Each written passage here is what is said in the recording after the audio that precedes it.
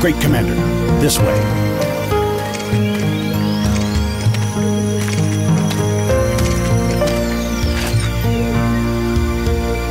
So, this is her.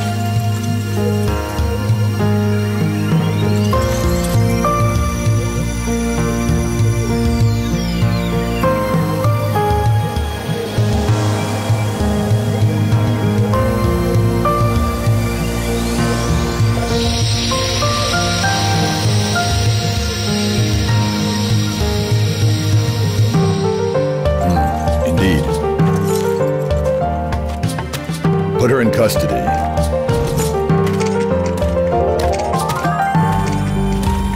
Is this really necessary? It is His Majesty, Emperor Doel's command to take that girl into custody. Who is she? That is not your concern.